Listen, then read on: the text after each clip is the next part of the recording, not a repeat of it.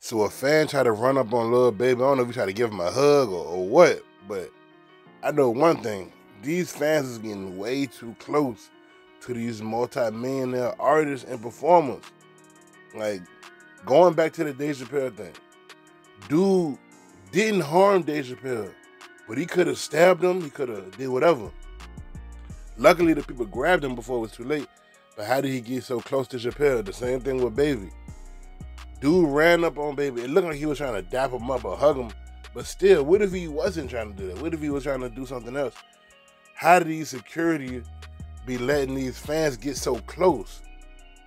Like, I'm not gonna say it's planned, but I don't know because if I'm a multi-millionaire rapper, Lil Baby is worth over $10 million right now. If I'm worth all this money, y- y'all gotta protect me. The person that owns the whole thing, he booked me. He got the security, or I got my security. Y'all gotta protect me. Dude could have ran up on a tackled Lil Baby. His head could have bounced off the stage. He could have went unconscious. I know that's like the one of the worst case scenarios, but me, I always think about the worst case scenario because it's all about playing defense for me, and not offense. I'm not looking to hurt nobody. I'm looking to defend myself, and I feel like everybody should be on defense, defending yourself at all times.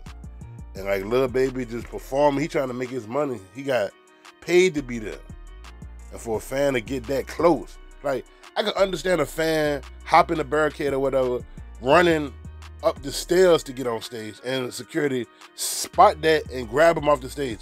But if, but for him to get so close to almost tackle him or something, that's crazy. What y'all think about this, your boy B? Mooch.